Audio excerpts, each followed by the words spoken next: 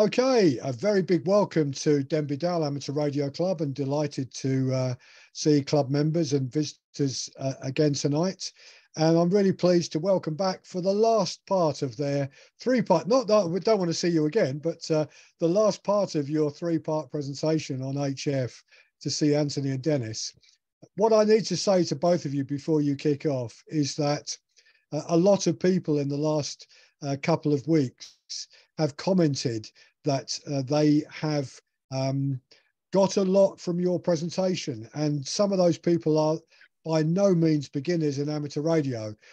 That I think everyone has made a comment to me that we found something we didn't know about before the meeting and something we're going to go off and explore. So that's that that is that is really great. And um, uh, a lot of people have been looking forward to to you bringing it all together as you indicated your part three is going to be tonight. So uh, without uh, waffling away, I'm going to hand the microphone over. Who's going to kick off? Is that you, Anthony, or Dennis? I'm going to kick off. So uh, give me a thumbs up if you're seeing our slideshow. Very good. Well, good evening, everyone. I'm Anthony Luscre, Kilo 8 Zulu Tango. And I'm Dennis Kidder, W6DQ. This is my contact information, and I have a website, kzt.com and I don't, but I've got the uh, the email there. You can always reach me at collinsuser at yahoo.com or my call sign at arrl.net, w6dq at arrl.net. And I'm well, I welcome emails. The slideshow tonight has a number of links embedded in it, and you can get to all those links. This is actually the slideshow for all three episodes at tiny.cc slash UK BGHF, UK Beginners HF. And uh, Dennis and I have been having a lot of fun trying to translate things into UK speak as opposed to US speak. And uh, we've, we've learned a lot too. So this has been a real learning episode for us also. So tonight we're going to talk about setting up your radio, HF challenges, computers in the shack, and a what else section. And Dennis and I will be doing tandem bouncing back and forth as we go along here. So tag team presentation. and we're going to start with Dennis. Okay. I was going to say, Anthony, I do understand some of the terminology because I have spent time, I spent time in uh, both Australia and in Hong Kong. I lived in Hong Kong for four and a half years. So I, have got some of the, uh, I've got some of the, um, the funny the, the, the differences between our, our two countries separated by a common language which i always love. Okay. I i also spent time in scotland so i've gotten completely confused. Yeah. So we talked about all the equipment and everything through the last uh, two weeks and today we're going to talk about putting it all together and, and building your radio shack. So where do you put your radio shack? And we start off by saying you know shack is a term of endearment and that came from the uh, maritime as a matter of fact, that ships added a radio station. They would basically just build a shack on deck, and that became the radio shack. So that's where that. Uh, I'm sorry. Oh, we got somebody unmuted. Also, uh, okay, that's it. Okay. Um, uh, so that's where that term came from, and it refers to where your radio and your other equipment that's related to your radio. It, it, it uh, describes where that's all located. It can be in the house, it can be in a garage, it can be in a shed. As I have here, it's in a actually an old, actually two old mobile homes that we've uh, converted into a radio shack. So uh, any number of things that you can do. Go ahead and go to the next slide, Anthony. So space is limited. You have a lot of options. I mean, in closing and enclosed storage, you can make it safe and secure. So, like uh, Anthony shows a, a, roll top desk here, which would look like any piece of furniture in your house, in your home. And uh, the other photo is in the middle is my friend, my friend K5PZ, who's a silent key now, unfortunately, but a good friend. And he had a Collins S line installed in a console.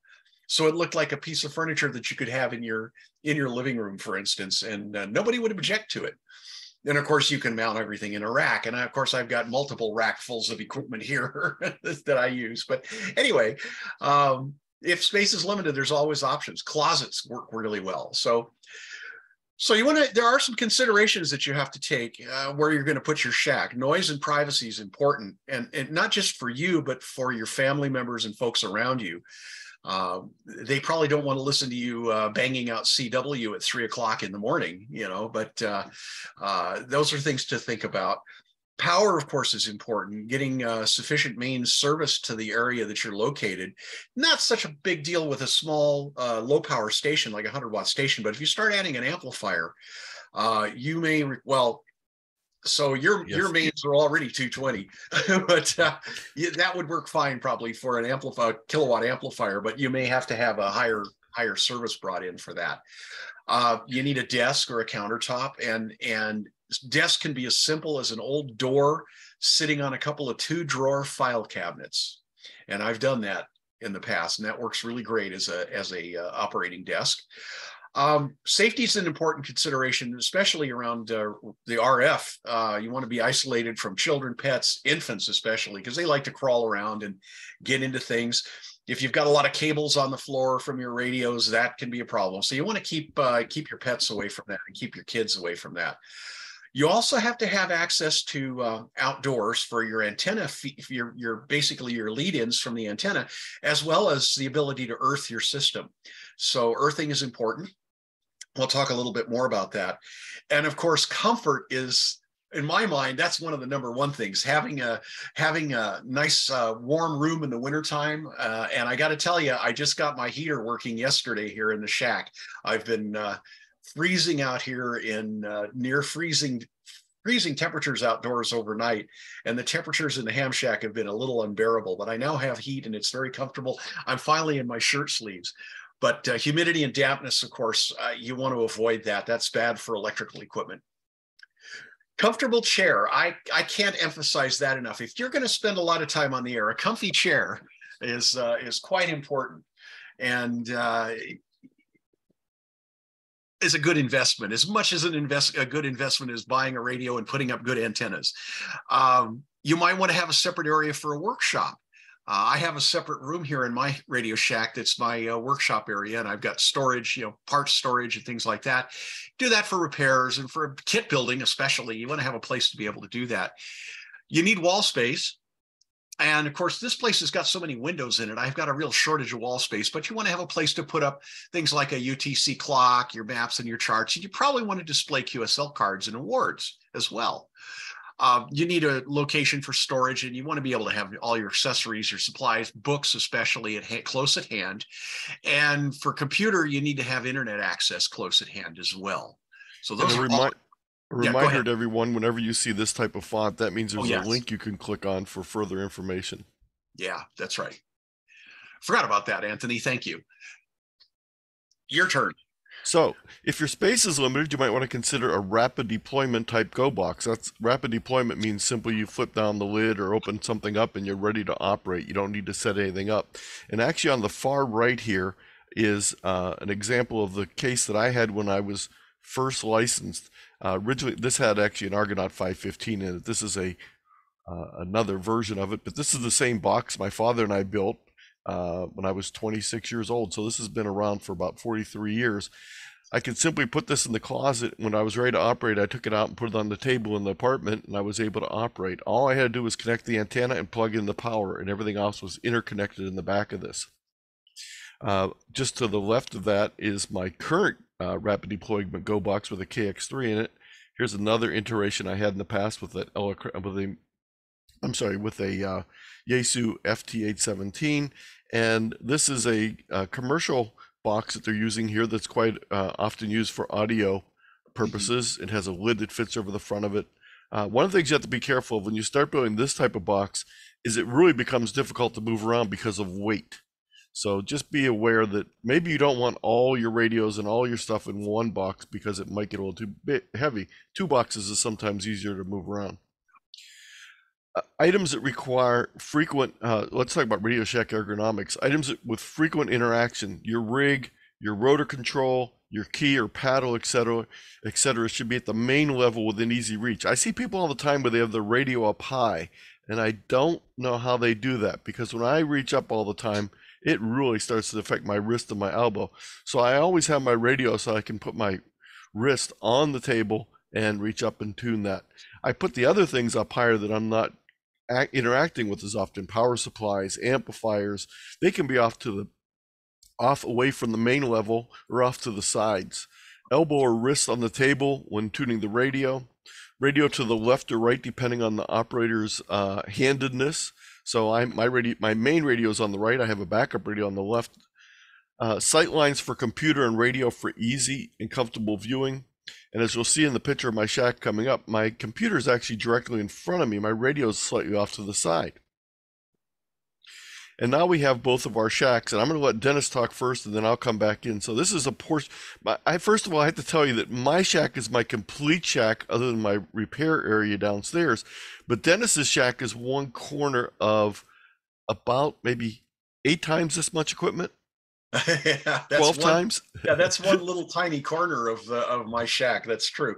I I have um, a total of let's see, one, two, three, four, five, six rooms in the shack, which is like I said, was two 60 foot mobile homes that we repurposed, and that happens to be where I run my AM station. And there, there's a, a old. Uh, old broadcast transmitters I've repurposed for amateur, and I've got an old Collins mixing console but that's just one one location out of my shack and i'm quite proud of that that setup there. You can see part another part of my shack behind me. This is another room. This is my main operating desk behind me where i i spend most of my time. And of course i'm sitting at another operating desk. I've got a collins s line sitting in front of me here. I want to add one thing anthony that that if you look at the desk behind me i don't know if you can see it if the camera's down far enough one of the things that I've learned over the years is it's nice. I, I, I don't like the radios up high, like Anthony said, but I've elevated them a couple of inches so I have space under the radio where I can stick things like paper, tablet of paper, my uh, my uh, keyboard for my computer, my mouse can go under there, uh, other items that I use frequently, but I don't want them cluttering the desk. So it's a way to get them out of the way. So I always I've always had a that's something I learned when I was a novice, believe it or not, over 50 years ago, is to, to build a little riser to get it maybe a couple of inches off the desktop. You can still easily reach the um, reach the radios but you also have that extra storage space that I really like. So that's yeah. just my opinion, but but I want to well, share that. Mine really aren't at the desk level because I have the bells down, so they're actually about two to three inches above the area there. So there is a little bit of space, and you can actually see. I cleaned everything up here, but this radio on the left always has stuff sliding underneath it. Right now, there's a microphone stuck under the corner of it. But um, this is my shack, and you can notice the computer in the in the middle here. Um, you really can't. This is my key. You really can't see my key in here because I, for some reason it got moved off to the side when I took this picture. But my main radio is slightly to my right. This is an Elecraft K K3S, and my antenna switches are up here. My power supplies are actually under the counter. I have little wire baskets that hold them under the countertop, and they're completely under there and out of the way, so you don't even see the power supplies. Here's my rotor control, and it's right when I reach my left hand out. My rotor control is right there, uh, so I can do that. My, um, some of my backup radios, and I added a third monitor a few years ago by buying a cheap uh, HDMI TV. And I don't use this for text as much as right now. If I glance up there, I actually have our slide list uh, with our different numbers when Dennis and I switch back and forth. A lot of times I'll have maps up here during contest, so I can put multipliers up here during contest and out of the way. But uh, that's mm. then I also have maps on the wall, QSL cards, of course, and then I have a blimp because I am about 10 miles away from Akron, where uh, the Goodyear blimp was first built. So I, of course, have to have a blimp in my shack. I love it. All right. So this this slide, we have to do some talking about this slide because as you see, it says NEC. That's the National Electric Code here in the United States. Well, we're not going to talk about the National Electric Code very much, but they're very similar to British Standard 7671, which hopefully you are familiar with, um, that talks about uh, uh, electrical safety and proper installations and things like that. So we'll talk about uh, all of that. Um, so once you've installed your antenna, you've got your radios all set up. Now you've got to route that cable from the antenna, your coax or whatever feed line you're using to the transceiver and hook up the power supply and all of that. So our national electric code states, and this is this I this is the verbiage directly out of our national electric code that each conductor of a lead in from an outdoor antenna is provided with a listed antenna discharge unit, basically a lightning a, a lightning arrestor type device, which I think you you you refer to as surge protection devices (SPDs) in the UK. So that's unfortunately I've been trying to get a copy of 7671. I had a copy of it years ago when I was working in Hong Kong because of the project I was working on. I don't have access to it anymore, so I couldn't get the exact verbiage for it, unfortunately. So you'll have to you'll have to bear with me, but we'll talk a little bit more about that. There's some we have some uh, references that you can use. Uh, so these uh, surge protection devices, these are typical um, gas discharge devices that are used to protect your antennas well, not the antenna, but more really the radios from static discharges from lightning strikes nearby and things like that. You don't have to have a direct strike from a lightning strike to damage equipment. If it's within a, a, a certain radius of even a half a mile, um, it can induce, induce enough current flow into the antenna that it can produce some pretty high voltages in your equipment and cause damage. One of the things that I use on, uh, I use separate receive antennas and so I have uh, receiver inputs. I use a, a, little gadget here. If you could see that in my my picture there, this is actually a, a, uh, uh, they call it a front end protector. It's really you can't transmit through this, but it's extra protection for the input of a for a receiver input. You wouldn't put this on a transceiver unless it has a separate receiver antenna input, which many of my radios do. So this is what I use on my system to protect the receiver because that's really what's most sensitive. So the idea is that that that uh, antenna discharge unit, the surge protector, is located exterior to your to your home, and it's grounded, earthed. You have an earthing rod nearby, as well as if you can see in this image, you run a very heavy cable to your this would be your mains service entrance here and there's going to be a ground or an earthing rod by the service entrance, your mains, and you're going to tie these two things together. And this is called a common, uh, it's basically a single point, what you'd call a single point earth. We'd call it a single point ground. These two things are tied together so you don't create in a, in a static discharge, you don't create a potential difference between here and here because of ground resistance, and that can be a real problem. So that's what that's the requirement here. And I, I expect that the requirement in, in Britain is exactly the same, probably worded a little different, but it's going to be a similar, if not the same requirement. And this is a typical installation where um, you see in this photograph, you see the, um, the, there's a ground rod here, an earthing rod here. Yeah, we're looking down. That's real. You're looking real down, right? You're looking down at the ground, and I, I have one problem with this photograph, and I'll explain that in a minute. But but this is typically your uh, your SPD, the surge protection device, right here, tied to a ground rod, an earthing rod, and then what you see here are two cables. Those are the cables that tie this grounding earthing rod back to the mains power entrance. So this is a very common setup. The problem I see with this photograph, and I think I've commented about this before, is this looks like it's a foundation for for structure. It might be the, a concrete foundation for a building. Um, at the bottom, a ground rod should not be that close. An earthing rod should not be that close to a foundation. It should be at least half its length away from that foundation. So if that's an eight, let's say a two meter ground rod, it should be at least a meter away from the building to be properly installed. So just a comment about that. But and these yeah, are the, these are where the wires are coming in from the common yeah. Yeah, I'm sorry. I was sitting here with my mouse. I'm going, wait a minute, you're not seeing that. Thanks, yep. Anthony. Yes. you won't see my mouse.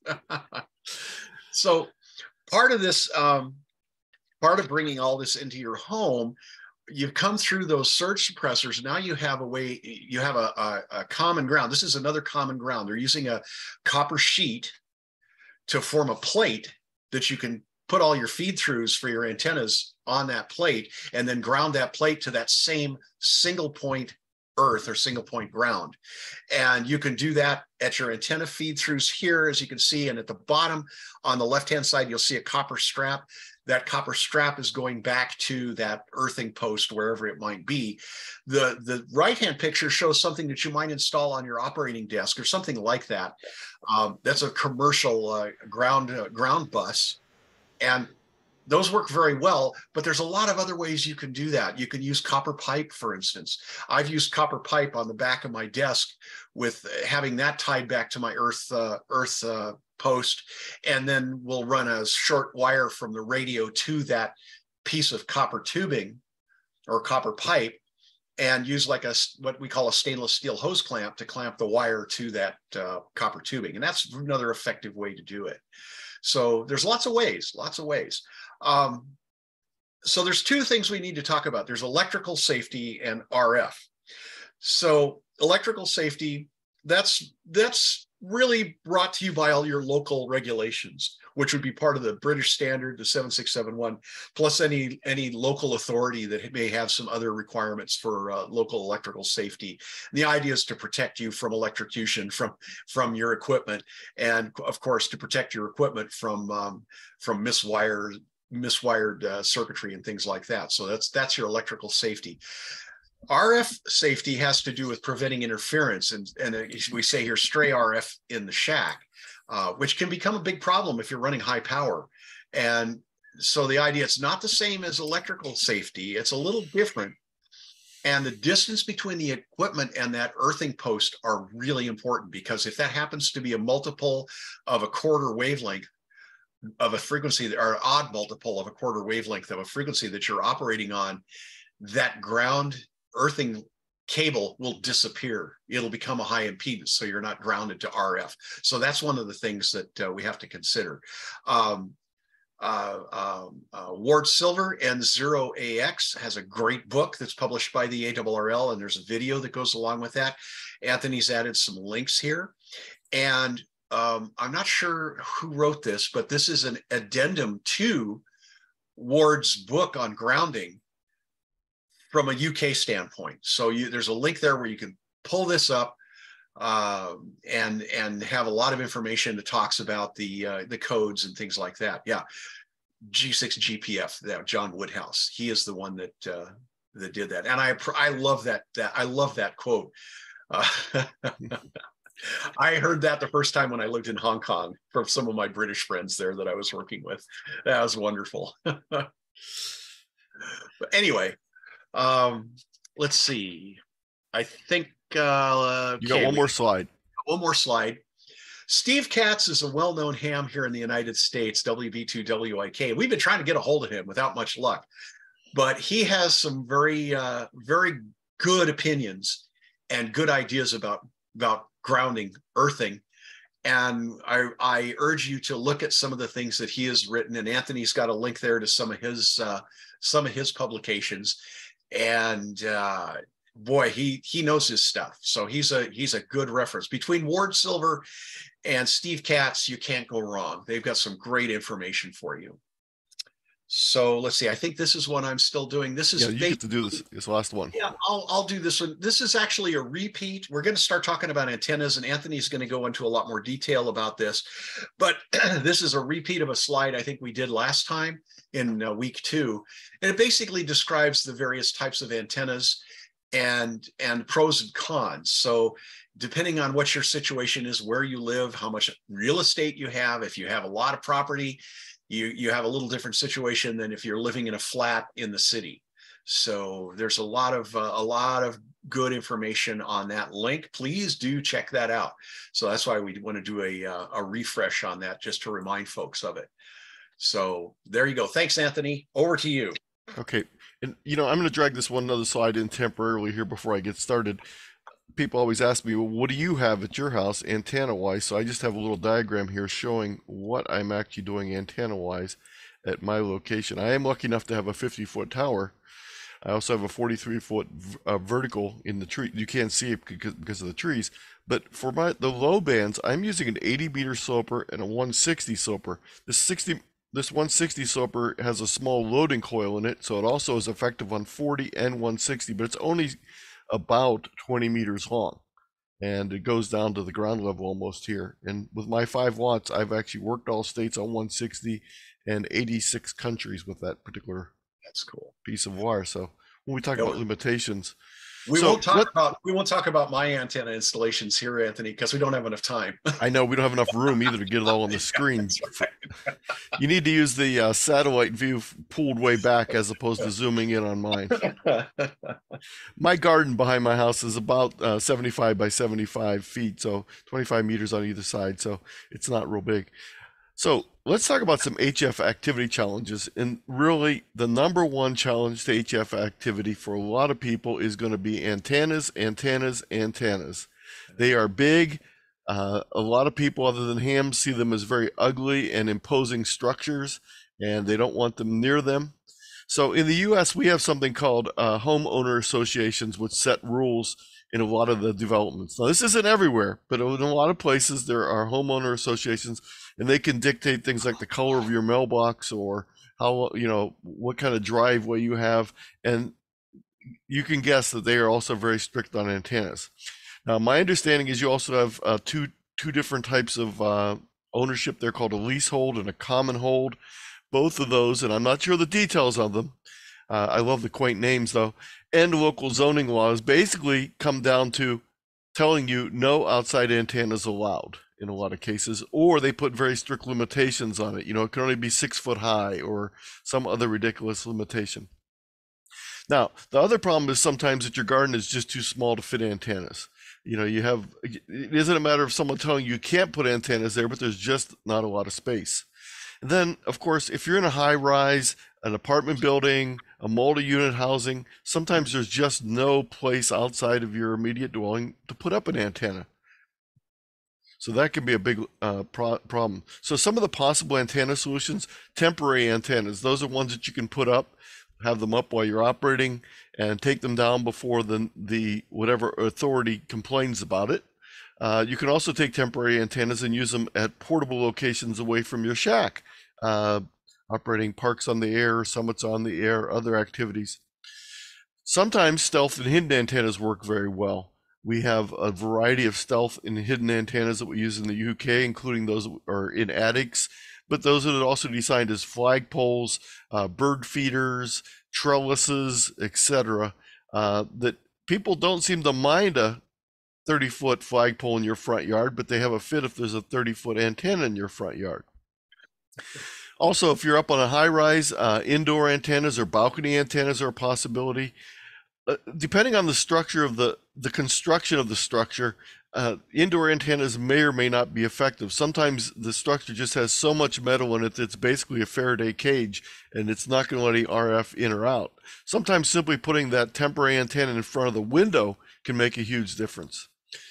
And even with attic antennas, some of the new roofing materials used have insulating property. I mean, sorry, uh, metal in the materials so that they act as a Faraday cage also. Mobile or portable operations is another thing. And then, if everything else fails, having a remote operating shack, in other words, a shack that is not where you're at, uh, that you can access. And this is common by becoming more and more common as the ability to use the internet to link between these is possible. The second challenge is limited opportunities. And this may occur with the foundation license where people don't feel like they have enough power to operate. And if that's the case, you need to tune in on uh, next Monday night for the RSGB at 8. I'm doing a presentation on QRP, but uh, we'll save that talk for a little bit later. Some people are also able to unable to use all of the allocations because they might not know how to use CW, and that would limit them from using the CW portion of the band. Now, there's a way around that. You can learn Morse code. And then sometimes the problem is too many people on the band, and sometimes it's not enough people on the band. So you want something just in between enough people, but not too many people to work. So um, the way around these mode and frequency things is sometimes to this is for us to to to upgrade uh, learning morse code uh, trying out antennas for bands that you never tried before. A lot of times i hear from people that say you know i only operate 40 and 20 meters and they're always so crowded.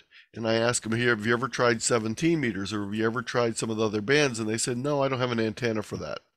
So having an antenna for additional bands or finding out if you can tune your existing antennas on some of these bands can really uh, enrich your operating capa- uh, possibilities.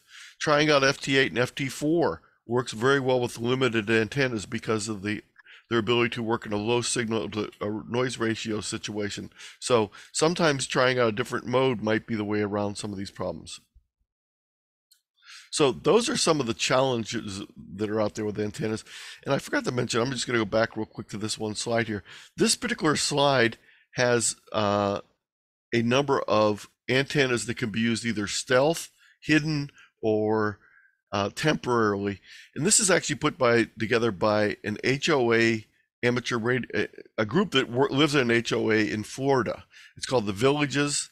Uh, TVARC is the, the Villages Amateur Radio Club, and they have like 120,000 people. It's basically a retirement village, and there's a lot of HOA laws there. So they actually put together a whole little chart on how on how good various antennas were on different bands, different modes, and how good they were on the air, how stealth they were to hide, uh, whether they needed a tuner or not, uh, how difficult installation was, cost, and then effectiveness on each of the different bands. And this is just their little chart. So if you have limitations, there are ways to get around it. So what we're going to do now is shift gears a little bit and talk about something that was not even on anyone's radar pre-1980 in amateur radio, but became very much part of the hobby uh, in the late 80s, early 90s, and that is computers in the Radio Shack. There's a lot of uses for computers in a Radio Shack. You can control your radio from the computer. You can operate digital modes like FT8 and FT4, which require a computer to do the encoding and decoding. You can use it to keep your log.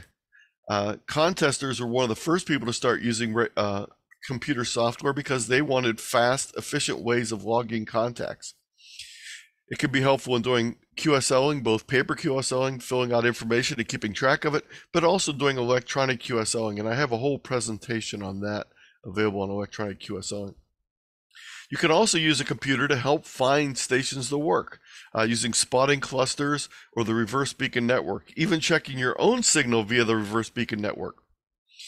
It can also be used as a secondary band scope display. A lot of radios have band scopes on them nowadays, but you can also have an external band scope display on a computer, and that really is when a second and third monitor becomes handy. So the idea of having a computer in the shack really benefits if you can interface it with the radio. That means that you have two-way communication between the radio and the computer. Uh, computer uh, assisted uh, transceiver control, CAT control, which I'll talk about in a few seconds.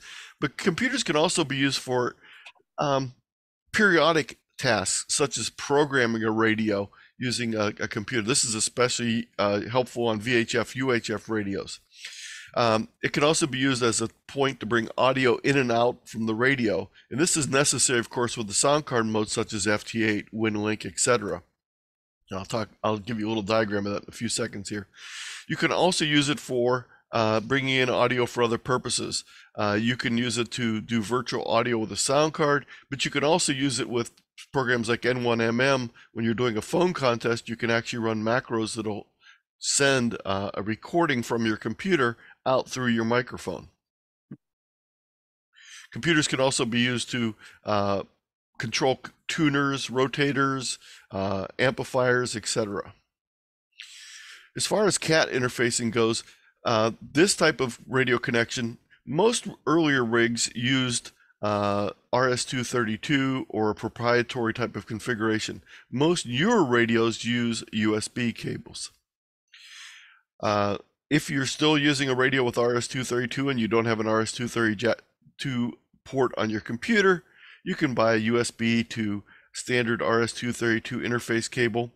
Uh, just make sure when you're doing that you get a high quality cable. I would suggest you get one with an FTDI interface chip in it. Avoid the prolifics because of some, not necessarily problems with the prolific chip itself, but problems with counterfeits and software issues with prolific drivers.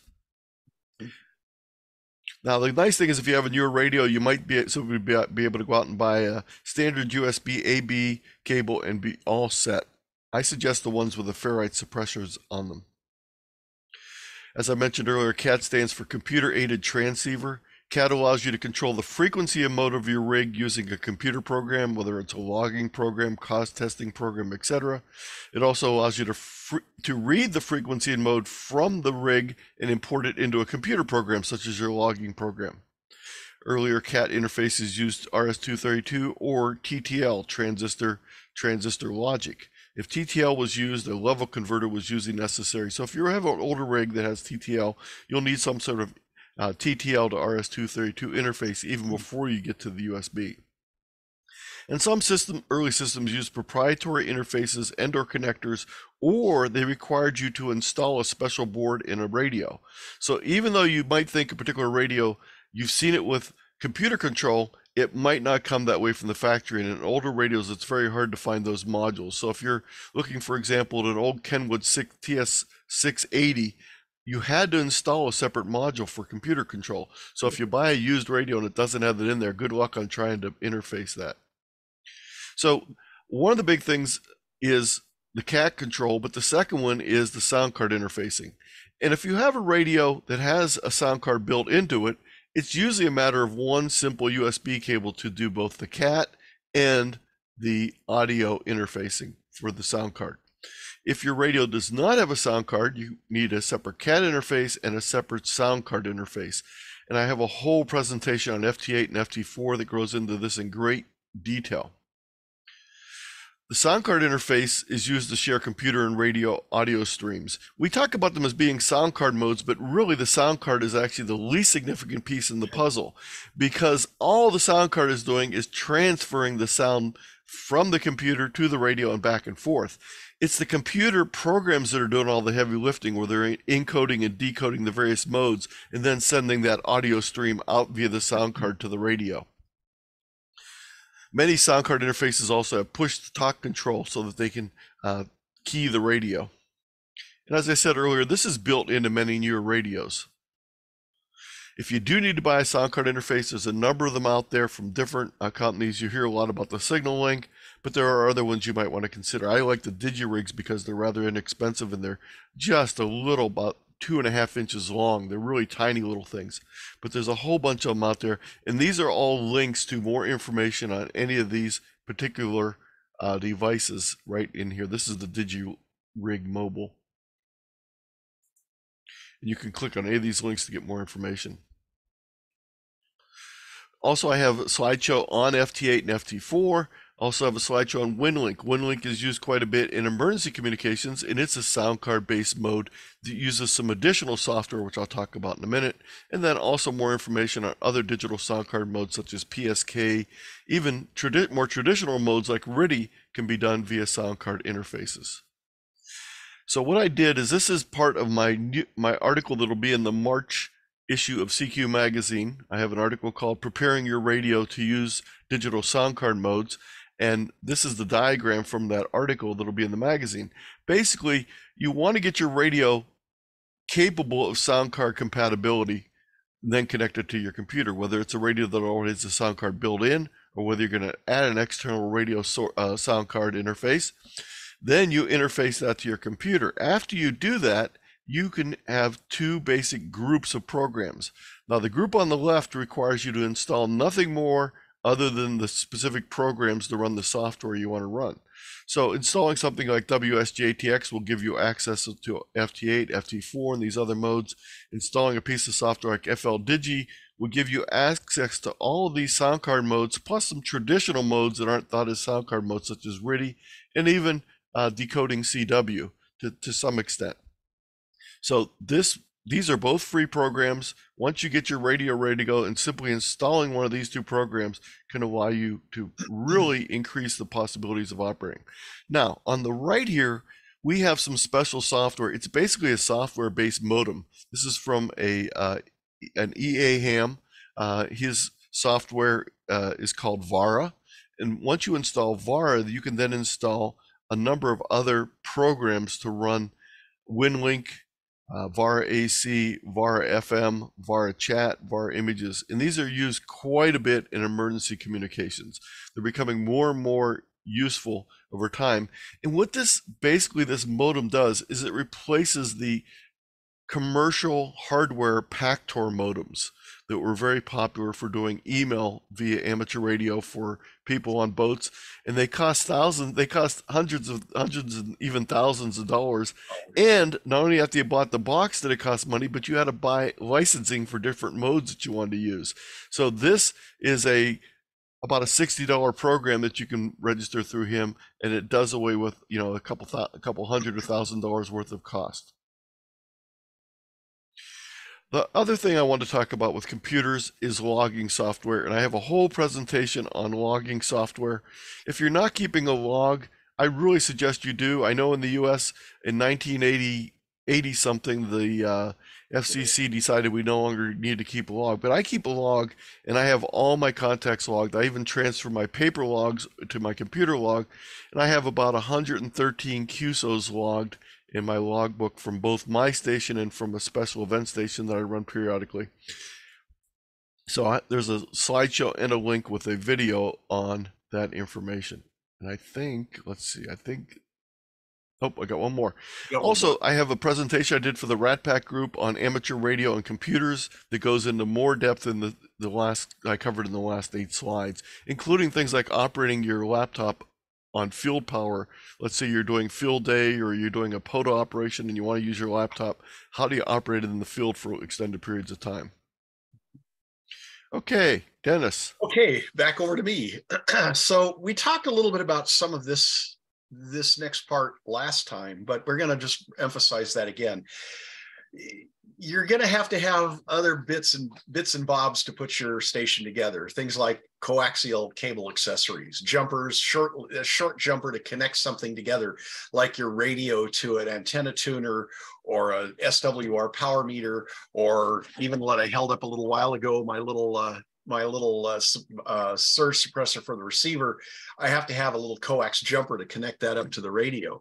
Uh, you might have a B, a, what we call AB switches. I I can't tell if you can see that in there. You can't see the rack here next I've got a rack full of antenna switches here next to me. Those are other things that are really common. If you have multiple antennas or multiple radios, you need a way to be able to switch between them. The other thing that is really useful are adapters because you'll find that, well, this radio's got a type N connector and my cable's a UHF connector. How do I put those together? Well, I get a UHF to N adapter and I can take care of that. So some of the common connectors, UHF, BNC, SMA for things like if you're using some of the little uh, the little do- uh, uh SDR dongle type receivers, they'll have an SMA connector. So you'll need adapters to be able to move back around. Uh, we talk about barrel connectors. Barrel connectors are useful if you want to uh, connect uh, two common connectors together, like two BNC connectors or two UHF connectors. Um, you'll you'll use a barreled connector. They, they're available for whatever kind of connectors you're you're going to be using. And of course, I mentioned the AB switch or even multiple positions. Some of these switches here, I've got some six position switches, I've got some four position switches to be able to move things around. Those are all useful accessories as you as you grow your station. The other thing is tools. It's another item for installation and maintenance. Um, a very useful item to have in your Radio Shack is a soldering iron. Uh, I, I can't imagine being without a soldering iron these days. it, just it, it, just escapes me. But having solder and possibly liquid flux to make things uh, solder ease more easily sometimes, uh, things like that are very uh, very useful. Um, a wire stripper, uh, um, uh, another useful. So you know you can use a pocket knife. You can use a pair of diagonal cutters to strip wire, but boy, having a proper wire stripper just makes the job so much easier uh, pliers, uh, you know, regular gas pliers, and needle nose pliers, side cutters, all of these things are useful tools to have. Um, if you're using crimp type connectors, uh, you it, many of them require a special tool, so you have to have a special crimp tool with special dies on them for crimping those connectors. Uh, so that's another investment in another tool, and I I use a lot of that here in my Radio Shack uh, uh crimp type connectors. Both uh, N-type, UHF, and BNC connectors are all crimp connectors that I have. Uh, different types of tape, uh, electrical tape, waterproofing tape. The one that I really like is one that's made by 3M. It's referred to as a self-vulcanizing tape. Uh, essentially, in terms of waterproofing, once it's on, it, it keeps everything out. And basically, you stretch it and it changes the chemical composition of the tape. And as you wrap it, it, it bonds to itself quite strongly. And you, you basically, the only way to remove it is to cut it off with a knife. Uh, so that's a that's something to look for is a for for uh, waterproofing, and then of course screwdrivers, all different types of drivers, including all types of little bits, because some things use you know somebody uses a Phillips screw here, somebody uses a slot screw here, but this guy over here uses a Torx screw. So having all those different types of uh, of, of screwdriver bits is very useful. Go ahead. And we have a whole uh, Rat Pack presentation you might want to watch on holiday gifts for amateur radio. We talk a lot in there about different types of tools. We also have another very interesting presentation on uh, a MacGyver style uh, use of different things in the field when you don't have the tools that you need to have or things you might want to bring along with you. So there's very interesting presentations from the Rat Pack group, and we'll give the link to those at the very end here that's a great presentation too the, both of those actually. Uh, test equipment uh, and you don't have to make a huge investment in test equipment but there's some basic pieces of test equipment. Having a multimeter or a voltometer a vom is is useful so that you can measure voltage and resistance. Uh, you can do testing for continuity or open circuits with those. Um, and it, measure polar you can check polarity on a power source see where's my power where's my positive lead versus the negative lead um, so those are real inexpensive simple tools to have on hand uh, different types of measuring devices like calipers and wire gauges are also useful i have uh, I have two different types of calipers. As you show here, I've got a set of calipers with a digital dial on it. I've got one with a little rotary dial, a little micrometer on it. And I use those all the time. They're quite useful to have around the ham shack. So anyway, um, so moving on from tools, mentoring. And, and mentoring is probably one of the, to me, one of the most important aspects of amateur radio. And as a community, it's it's really incumbent upon us to mentor the newcomers. Uh, that's that's why Anthony and I are doing this presentation. This is all about mentoring. Um, I had many mentors when I was a youngster, when I was a, kid getting into amateur radio and getting started. And I see mentoring for myself as a way to give back to the community for those people that gave to me when I was much younger and, and just learning. So mentors are there to help you answer questions and avoid a lot of pitfalls. And there certainly are plenty of pitfalls that you can fall into unfortunately. But they can they can they can you can talk with them about what type of rig to buy. Uh, they can loan you tools such as an antenna analyzer is a useful tool for for getting your antenna working correctly. Uh, you may be may want to have that on hand. It's something you can invest in. They are very inexpensive these days but if you don't want to do that find someone who can loan you one. Uh, or if you're having trouble understanding a particular concept, having a mentor is a good way to get through that. Uh, and if you haven't already, eh, we suggest you find mentor or mentors. Multiple mentors are not a bad thing. You may have one mentor that is his his or her specialty is antennas, and another one may be uh, digital modes, for instance. So uh, don't don't think that you just have to have one mentor. I consider myself having as a kid having five different mentors as I was growing up in amateur radio. And I've still got a few today, even though I've been at this for 50 plus years. I have a couple of mentors that I rely on very heavily these days still. So uh, it's it's an important aspect of amateur radio. So how do you find a mentor? That's a a question that you might ask. And and first place to look, of course, are the clubs. And and you belong to a club here, and I'm sure you have a, a process there within within the club to uh, to have mentoring. Uh, but if you just joined or you you just got that license, um, there's lots of old timers around that are that are more than happy to help newcomers. And a lot of i don't know if your club does but a lot of clubs do have formal mentoring programs. So that's something uh, important to uh, look into. Uh, of course we're talking to an amateur radio club here so this is as much a problem but but for new hams finding an amateur radio club uh, in the uk the rsgb club finder we have something similar to that here in the united states with the arrl but that link will take you to the club finder at the rsgb website and you can use that to find uh, local local ham clubs around where you live. Uh, the other thing i I would make use of is things like QRZ.com QRZ.com gives you the ability to look at other hams, see who lives around you. Who are your neighbors? Who are your ham neighbors that you might want to contact if you've never spoken with them? So that's another way to, to find uh, folks who are willing to mentor. And actually, on my on the links I'll give you at the end here, I have a link that basically says find hams in your area. And it gives you a couple different Ah. ways to find hams in your area, how to use the QRZ tools to find them. So I'll bring that up at the end here. Yeah, that's a good that's a great tool. So a few years back, um, my nephew got his license. He was, I think he was 20 at the time, maybe. And uh, I started writing him emails and notes, and then I created a Google document that I used so I could keep track of the things I was sending to him. And someone saw that at one time and said, "That's a really good thing for a new ham." So I put together the original notes I had plus some other things, and I call it the Quick Ham Radio Quick Start Guide. And when you click on that link, of course, this is designed for the US, so there's going to be some differences. But I start even before someone gets their license talking about if you're interested in amateur radio, how the licensing structure is set up, what's on the licensing test, licensing exams, getting ready for the test. Uh, after, then the important part starts with after you pass the exam. What are the kind of things you want to do, like joining a local radio club, downloading a band chart of uh, frequency allocations for your license, uh, finding a, a mentor or elmer in your area, joining your national organization, putting together your station, um, learning best practices, uh, blogs and YouTube channels that are good for uh, amateur radio, expanding your radio activity with different uh, uh, operating modes, frequencies, etc. And then information on free software and paid shareware that you might find helpful, general things, more specific things. Also, different websites with contact activities, major rig manufacturers, vendors, etc. So this is just something I put together, and you're welcome to use it as a as a, a starting point if you'd like to put something together that would be more uh, suited to UK hams. But that's the uh, little quick start guide.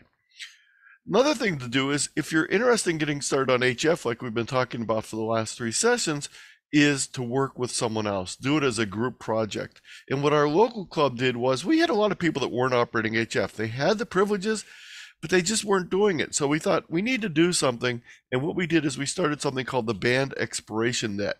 This meets after our VHF UHF net on Mondays, and each week of the month we rotate to a different band. We do six meters and 10 meters first. These are both available to technicians in the US, so we wanted to keep those so we would be able to include everyone in the club. The third week we move on to 40 meters. The fourth week of the month we move to 80.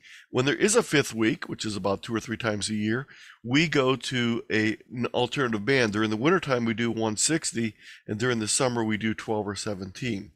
And for a special event this year, yesterday, or no, Monday night, the 30th of January, was our fifth Monday of the month. So we did 160, but we also did on AM. So we had a 160 AM night, which was very interesting. And the whole idea is to get people on the radio. And a lot of people say, well, I don't have an 160 antenna. Well, let's try something out, see what you can tune up at your house or put something up.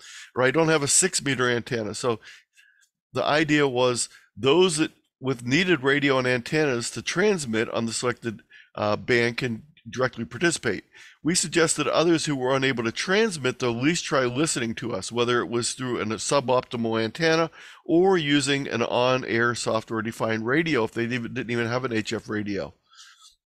We encourage new members to try new bands, put up additional antennas, and to experiment with propagation. We found out how hard it is to do a net on 40 meters when we're all within a small area.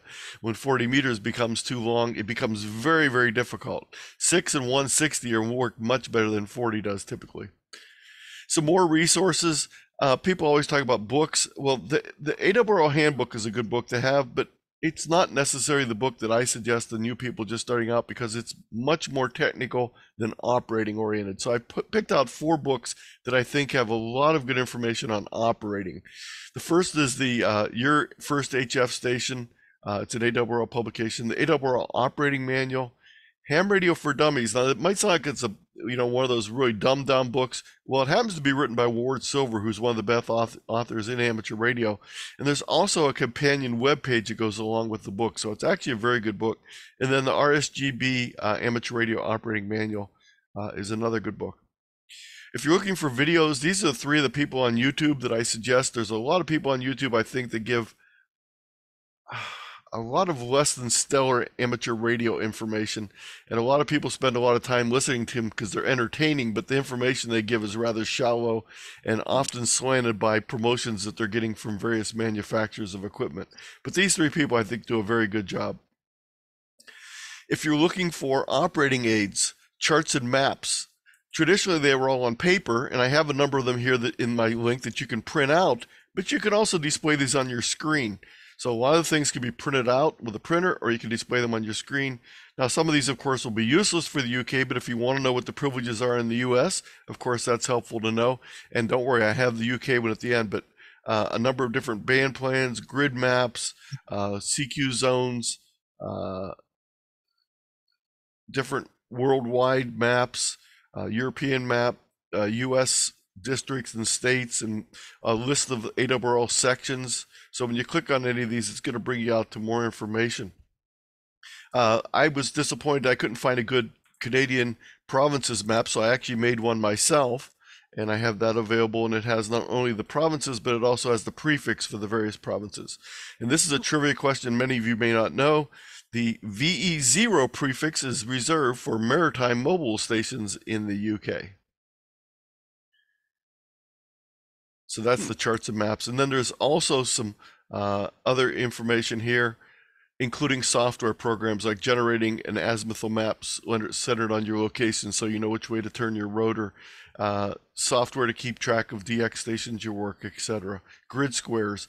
And this is the one that I talked about earlier uh, to find a ham in your area. So if you click on this link that says find a ham, it'll talk about how you can use uh, different sources to find your grid square, but then also to find other hams in your area using QRZ.com.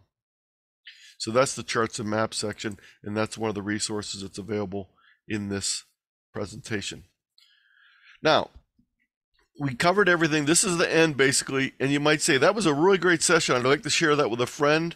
Well, the way you can do that is I put together one link that is basically an advertisement for the HF series we just did with Den Bedell, with uh, Dennis and I, and we talk about it. And uh, we also have an introduction to the VHF and UHF that I did with N6VI for the Rat Pack group.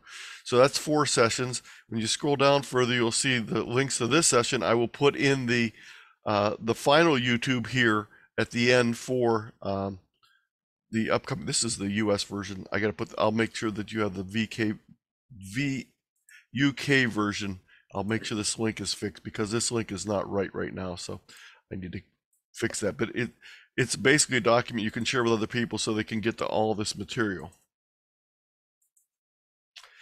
Also, if you're where did that come from? Also, if you're interested in QRP on HF, I'm going to be doing the presentation next Monday for the RSGB at 8 live webinars, and that's going to be QRP operations. And that brings us to our end. But before we go to questions, just a couple quick things. This is the link that I talked about to all my slideshow presentations and all my resources, tiny.cc slash K8ZT-P. When you click there, it'll take you out to all of the slideshows I just did. And I just created two new ones in the last week. I have a new one uh, called 10 meters fun, 10 meter band fun for all. And I just created one last yesterday actually uh, using uh, spreadsheets to using spreadsheets to analyze log data. This was a request from EL2BG. He saw my spreadsheet that I use and he was interested, so I put together a presentation I'm going to be tweaking uh, as we go along. So that is the end, and we will now take questions and answers. And again, to get all the resources from this slideshow, tiny.cc slash UKBGHF. I'll go ahead and stop my screen share. And we'd be happy to try and answer questions. I think we might have a few in the chat. Let me see here. Okay, so uh, thanks, Nick. Put the put the link in there for my session I'm going to be doing on Monday, and I will put the link in the chat for all my presentations at my website.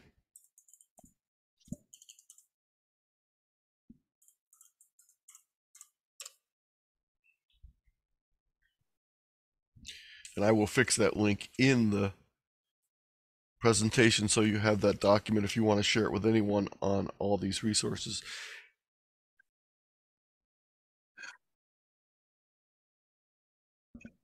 Radio hams are all odd. yeah, it doesn't matter what country you're in. Dennis and I can contribute to that. Well, maybe I'm even. I don't know. or even odder. Even odder. There you go. Better still. Ask my wife. She'll tell you. well, we'd be happy to try and answer any questions about anything that we covered in all three sessions or anything about amateur radio or anything about us. Yeah.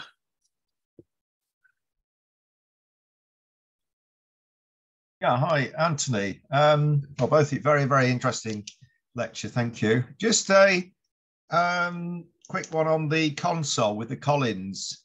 Uh, oh, I noticed yeah. one of the earlier slides. Um, cooling of when you start to put stuff in a console like that, how do they uh, go on with the cooling of the equipment? Ah, yeah. Okay. So that console, th- those are specifically designed to specification by Collins Radio. And I'm trying to remember, I think that was called the Ambassador, is what the name of that console was. And there, there's shelves in there, and there's ability to put fans and things like that in to be able to keep the equipment cooler. And the back of it is open so that the, you get air circulation. Uh, you can enclose the back. In fact, I think the one that Pete had did have an enclosed back because of where it was located in the room but yeah, that's a very good point. All that old vacuum tube equipment is a real, they're real heat generators, and uh, it helps to have a lot of good cooling. And and yeah, I've got. Let's see what I've got there. I've got one tube radio sitting over there, and it's all by itself. These guys are all out in the open here in front of me, the old Collins gear. So um, yeah, that's a that's a big concern because on the older radios, the heat tends to degrade the equipment over time. So if it's been getting hot for pushing 50 years, it's it's going to have problems. But yeah, that's a great great question. But okay, yeah, thanks. Thank things you. like that are a good way to do that. Yeah. I never had that problem with my two watts. Yeah, lucky you. I'll have to add that to my Q, to my QRP lecture for Monday. Another reason is to avoid overheating. Avoid overheating, yeah yeah, we know all about heat from radios here. That's for sure. uh, Other questions?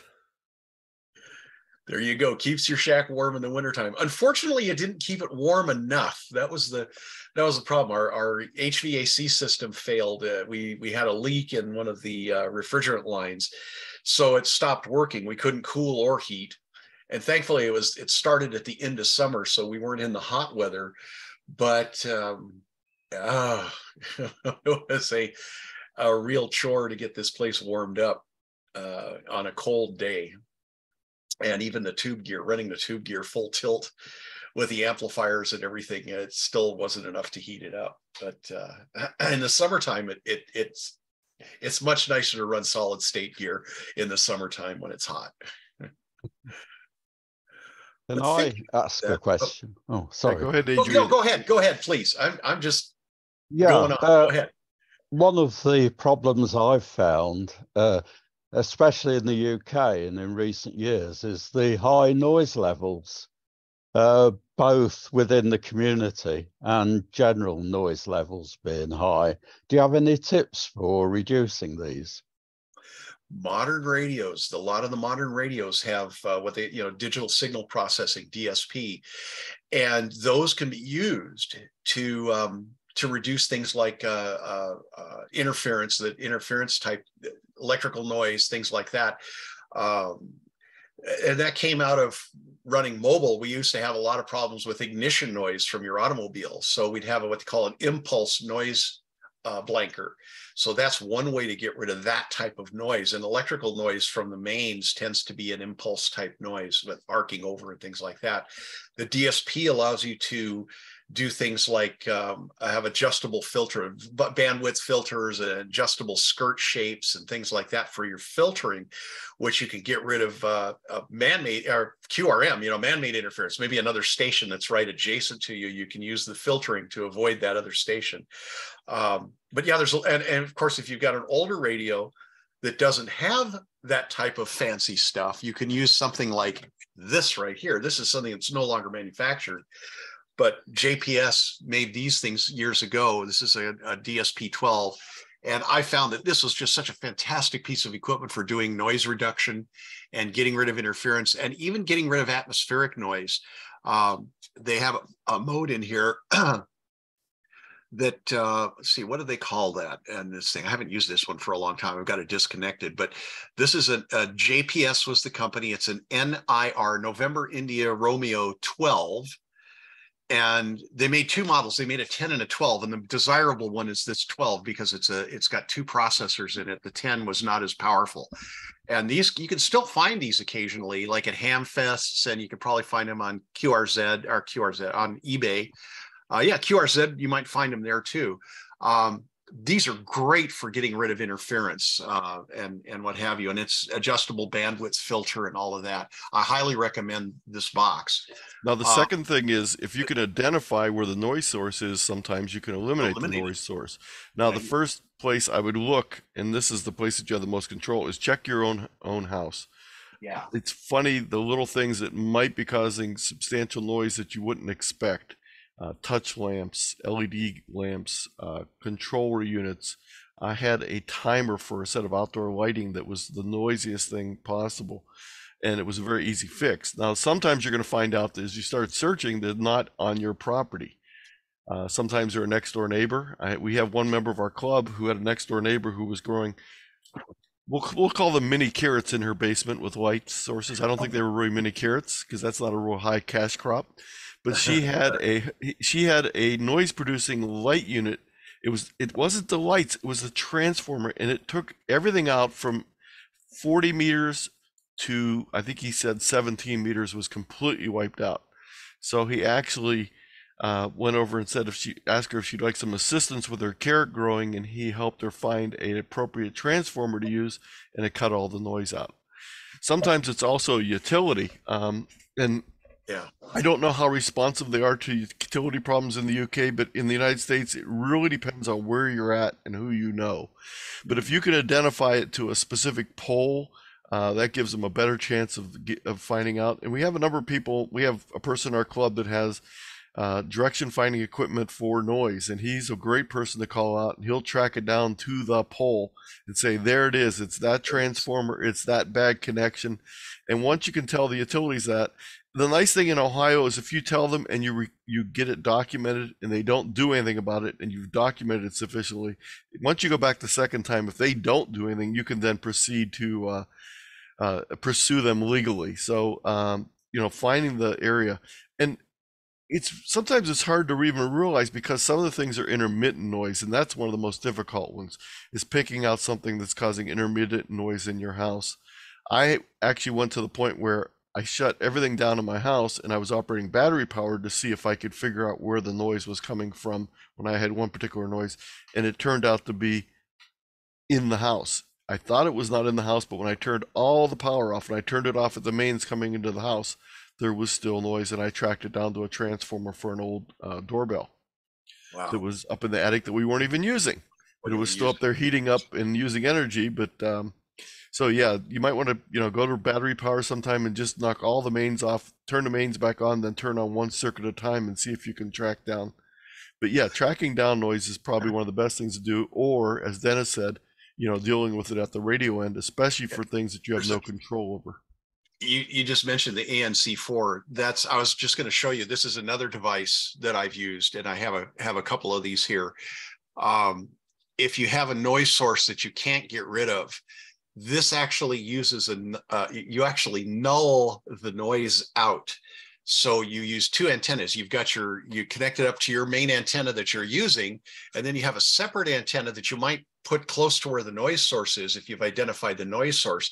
And then you adjust this to null that noise out. It'll basically just subtract it out of the signal and these were originally made by JPS. That's JPS developed this product and they sold the product to TimeWave.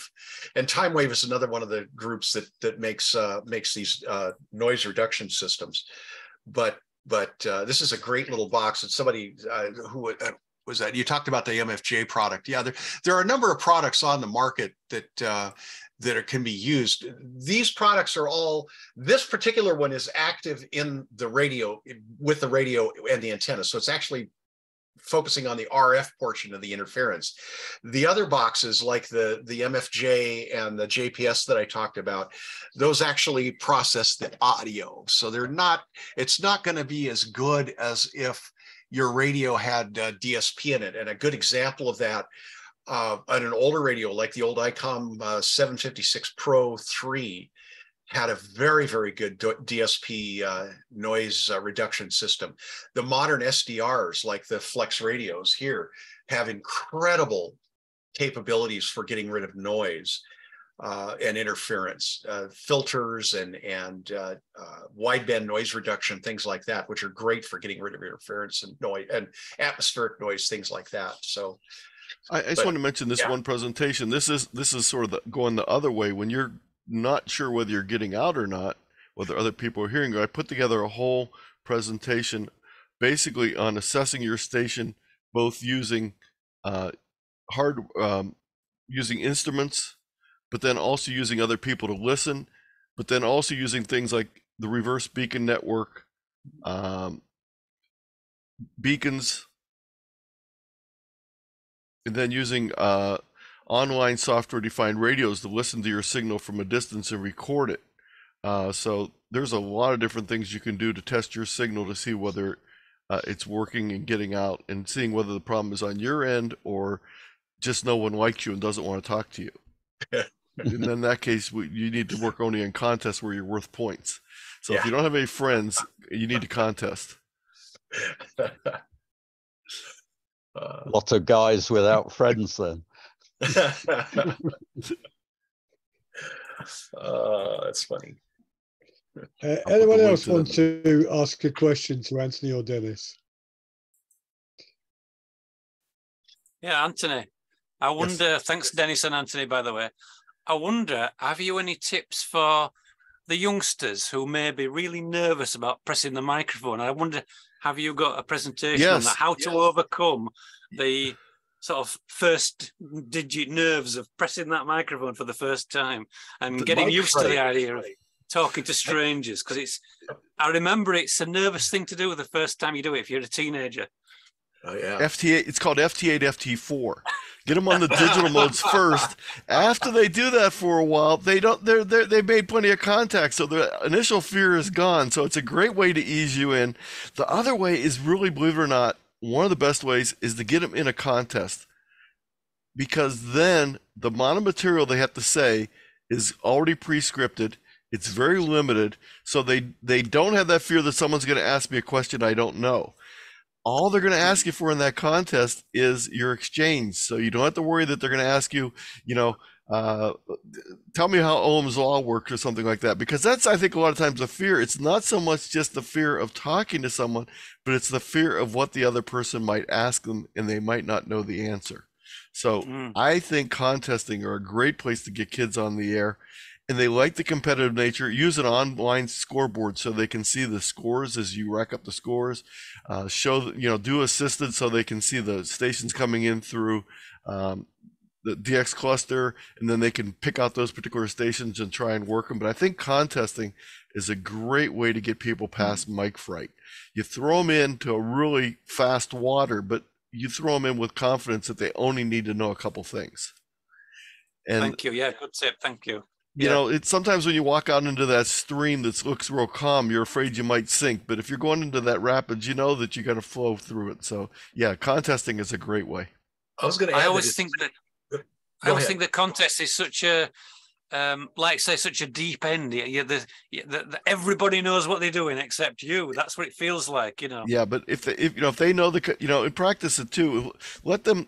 You know, one of the things I've done a lot of times, people say, and this isn't for kids, but I I get a lot of people that say, you know, I'm interested in contesting, but I just can't use that's the contesting software. It just I get all frustrated. I said, sit there, tune in a station that's running, and pretend you're logging for them then you don't have any pressure on you as far as making contacts, and you'll learn the logging software and it'll become second nature. The next time when you do it, when you're talking and you're logging, you'll be comfortable because you've already logged for someone who is moving really fast and working stations quickly, and there's no pressure on you. Yeah. Mm. Okay, thanks very much. That's another kid kid thing to do too is get them logging for you, and that all of a sudden then, and you know, and then keep asking them occasionally, you know, what was that call sign? So it really gets their ability to, to hear things because that's part of the other trick too. When you get someone on the air for the first time, they may not be comfortable also knowing that they're hearing the other station well. So they're not. They might be say, you know, on single sideband it sounds weird, or I don't know all the jargon, or I don't know all the information. So if you have them logging for a while, that gets them over that mic fright also. You know, I was Yeah. going to add to that that it's not just kids. I mean, it's uh, uh, Yes. Uh, everyone uh, when they first. Uh, I I shouldn't say everyone, but but a lot of new hams and and upgrades and things like that. They they you, you'll experience that. Uh, you you don't have to be uh, a kid to experience mic fright and be nervous with all of that. So. Uh, I think Anthony's made a good point. I think the, the idea of logging is great. That's how I started in ham radio. Before I got my license, I was on field day with a radio club and I was logging 40 meter CW, which was pretty fun for me as a kid, you know, helping him out. It was a lot easier in those days because uh, we only had to deal with a couple of prefixes. You know, we had we had W and WA and WB. We had uh, uh, I think we had K. We didn't have the N prefixes yet, and they were all you know just simple. There wasn't the the, the myriad of call signs that we've got in the United States now. So you could use one of the uh, the paper dupe sheets, the duplicate sheets. It was real easy to use and keep track of what you worked. Nowadays, that's the other thing that the uh, the computer logging software is good for is is preventing duplicates. And I that's I love that. Because the dupe sheets today are way too complicated. Uh, thanks very much, guys. Cheers. You're welcome. Other questions? A couple of great resources that were just put up here in the in the chat. Uh, West Mountain Radio, you somebody uh, Ken posted that about West Mountain Radio. They, they they've got some products like we've been discussing, and the one before that, um, I'd not heard of this before. BHI Limited. I just pulled up their website. They got some neat stuff, so I'm going to investigate that a little bit more. Thank you for that link. I'm going to check that out. And that was from uh, Keith. And Jeff put up Wemo. God, I'm not another company I'm not familiar with. Aha. Cool. I, Sounds I have a question for part of, one of the audience members, real quick. Terry, W3 NPS, how did you find us, or do you always attend the Denby Dale meetings? Well, uh, Anthony, uh, this is not my first time with Denby Dale. Hey, and and um, I'm proud to be a member of this club for the last couple of years. I discovered them uh, doing these sessions uh, at the beginning of COVID, and uh, I haven't been around for a while, but I'm glad to be back. Very good. Outstanding. That's great. Yeah, we're good. Uh, good, good to see if I you, may- Terry. Good to see. Good to see you again, Terry. And um, uh, for Anthony and Dennis, when when COVID started, and we started putting our meetings online, uh, we we got all kinds of people. So uh, some of the people in the room here today from other countries are people that have joined the club because they've enjoyed what we've been doing and are part of our family, which is fantastic. Isn't that wonderful? I, that's just that's just fantastic. I, I, Zoom has been such an asset to our community. Yeah, this is just amazing to think that Anthony and I are sitting here thousands of miles away from Mm. most everybody there, and and we're doing a presentation, uh, unheard of just a short time ago. So this has Dennis, really changed it. Dennis and I have never met in person. We we do all these projects together, and we've never met in person. And Nope. the same thing, we we're part of that Rat Pack group, and we have uh, every Wednesday and Thursday night.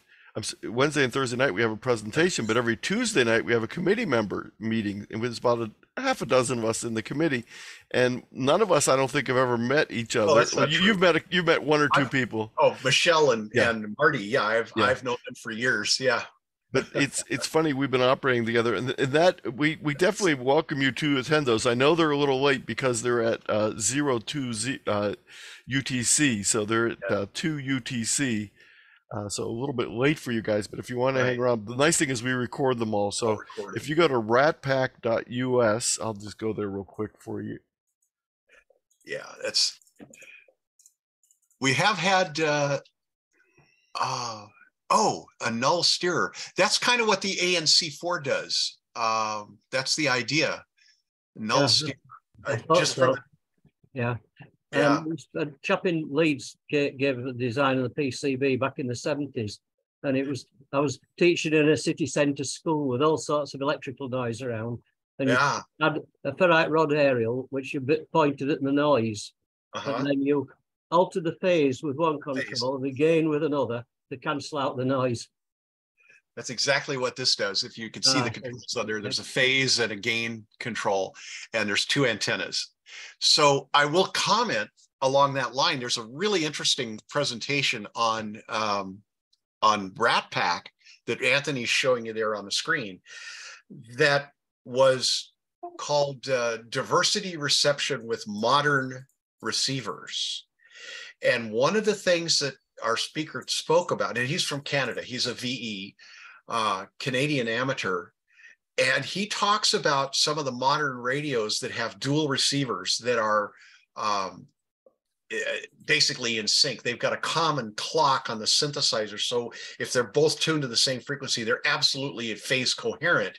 But what you can do is you can add software that allows you to um, adjust the phase and amplitude of the output of one of the receivers to accomplish the same thing. Unfortunately, not a lot of receivers, and I was very, very disappointed. The Flex 6700 doesn't let me do that. But I have two Flex 5000s, which were their older model that had dual receivers that I can do that with. And so I can actually use that software with those receivers to change the phase and, and amplitude of an interfering signal and null it out with that radio and actually do a proper diversity type reception. So interesting, interesting stuff. And that's, that's a great one. Uh, I wasn't aware of that, but that's exactly what we're talking about is a null steerer. That's, that's exactly what it would be. So that's cool. Thank you. And uh, the Rat Pack it is at ratpack.us, and Yeah. we record all the sessions. So there's over 250 recordings out there.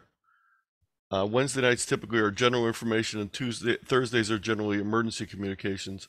And we are be happy to have you, uh, you know, in person. But you're always welcome to go watch the YouTube video. So if you want to watch the YouTube video of that diversity reception one, you know, you could just go to that and click on the link and get all the information from uh, Mr. Follows.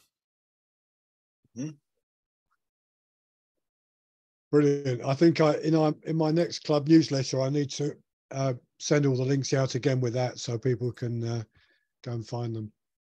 Mm-hmm. Of course, you got to put up with the ads. Uh, oh yeah, there's the diversity reception. Yeah, that's it. That was fascinating. I I met him on um, on the QSO today uh, Ham Radio Expo and asked him to come and join us on Rat Pack, and he was delighted to come and do this presentation. I, I this was one of the best presentations I've seen on on doing diversity. So I really, really, I was really, really happy to have him come and join us. So it was really cool. It's a great presentation. Well, brilliant. Well, before we say goodnight to Anthony and Dennis, um, anyone else got a, a comment or question they want to put? Um, I, I, just uh, just uh, two two very quick things. One is just a, a word of warning to one or two of our our newcomers. The RSGB do publish some very good information on their website about the issue that uh, you were raising, Dennis, about um, earth bonding. Oh, Uh, yeah. Because we, we do have a, although we follow, as you know, 7671, we, we uh, excuse me, uh, we, we have a protective, a protective multiple earthing system in this country. And um, uh, it, that does mean we do have to be slightly careful. If you then decide you want to introduce a new earth in your in your shack you can cause some problems. So the rsgb have produced some very good little um, uh, news sheets and updates on that uh, just to advise people to just to just to be cautious. I mean the biggest problem i think and you, you both of you will probably agree with this uh, the biggest problem we face in the shack is not the electrical safety of the of the systems themselves because they're all the all the bits and pieces are all i've all got earthing on them that plug into your mains earthing in your house the big problem we suffer from is common mode current coming back our rf Right. cables and right. causing all kinds of problems in our house or neighboring houses. And that's Yeah. that that's a different issue altogether for us to, to cope with. But that's that's that I think is the most common problem, particularly for those of us um, that you know live in properties very close to other people. Uh, that that is a, that is something we have to pay a lot of attention to. I would add one thing to that. If you're running vintage gear, you're not necessarily uh, uh, protected by the equipment and the, the earthing Yeah. of the equipment because many, many of the older, older radios didn't have proper uh, proper earthing. If and, and if you look at some of the uh, some of the radios that I have here, um, they're designed with with the U.S. in mind, where you and I think you still have the same system where you have a uh, uh, a, a hot wire, a neutral wire, and a ground. And I think you use different terminology, if I recall. So your hot wire, the neutral wire, and the ground. The, the neutral and the ground are bonded together at the service entrance. Hmm. But some radios have one of those leads tied to the chassis. One of those that, like, S thirty eight. Yeah. So I got that's the first time I got shocked. yeah, you plug it in backwards and and you have two radio. I, I remember this as a kid with some of the radios I had that that uh, you have two radios sitting next to each other, and if you're touching one and you touch the other one, you can get zapped. And it's only 115 volts here in the states. You're talking what 250 volts mains there, so that's a little bit more substantial. It would be a lot more painful.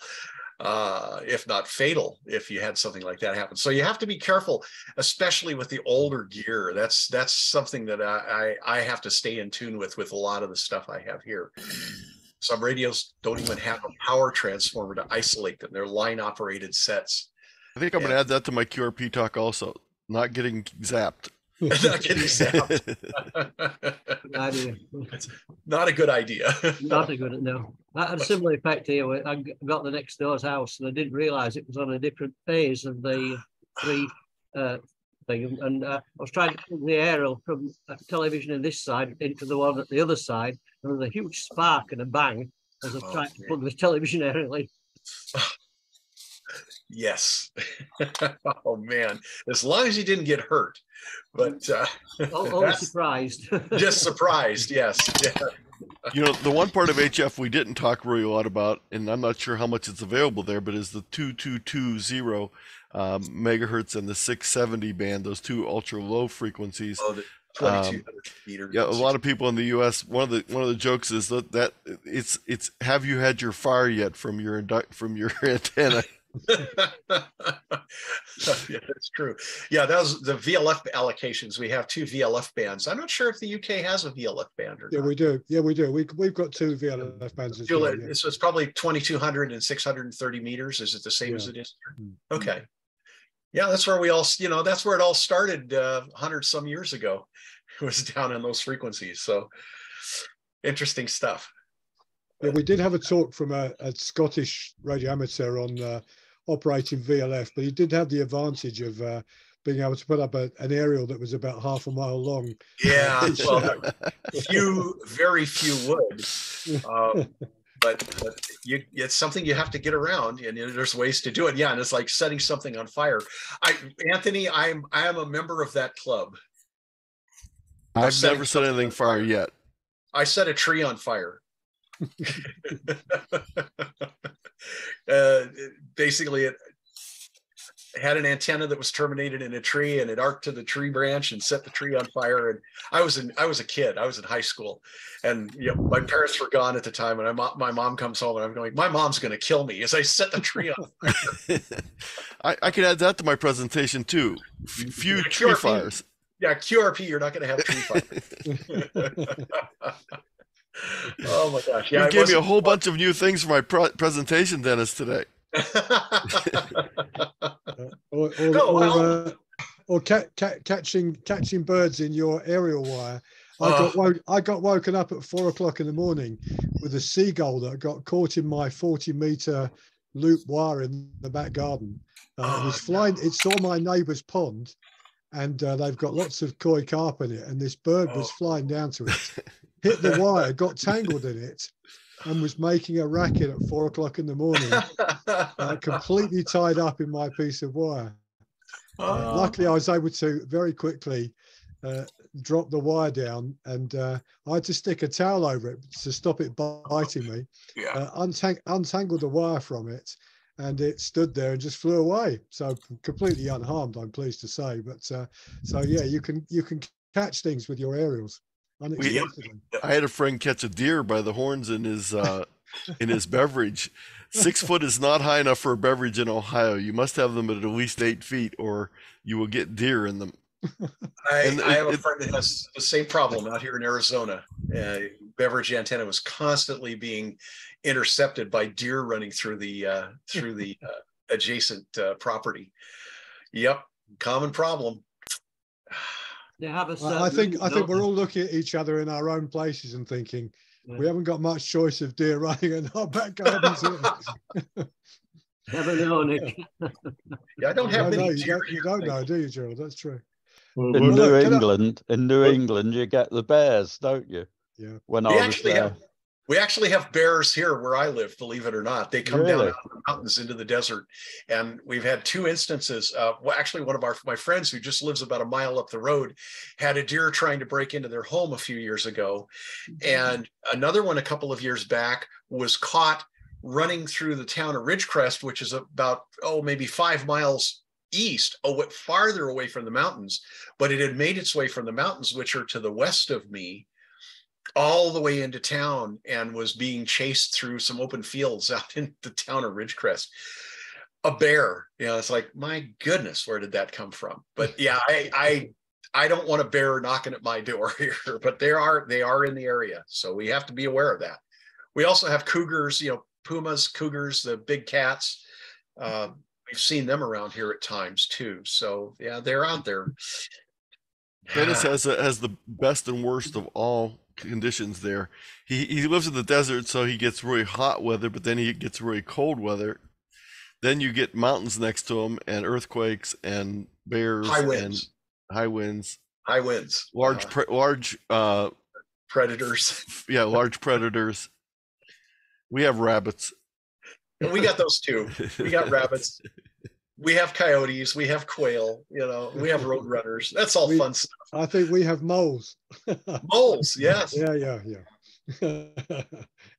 anyway, look, Anthony Dennis, can I thank you very much indeed? It's been a Well- really good evening again, and uh, uh, Thank you. everybody. Yeah, This has been absolutely wonderful, and uh, I really enjoyed this. Thank you for inviting us. I've personally uh, really enjoyed this opportunity and and enjoyed meeting everyone. And and uh, hopefully, uh, sometime in the future, we can do this again. Would be a would be a lot of fun. very much so. And I, I think, I, Anthony, you made the point earlier about, um, you know, meeting people but never actually having met them in person. And you know, we do we do that in amateur radio all the time. We've all the time. Yeah. we've, we've probably all got people we've spoken to on the radio several Mm-hmm. times and you you kind of know them to a degree.